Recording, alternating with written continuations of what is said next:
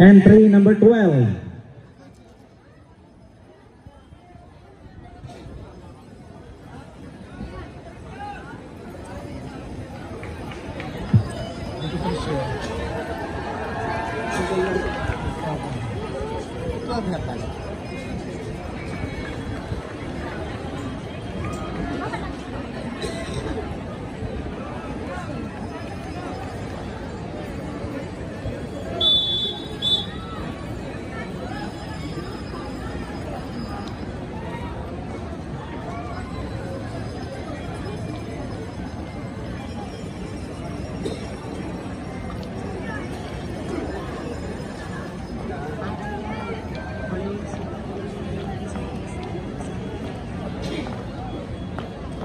If you're ready, you may start now.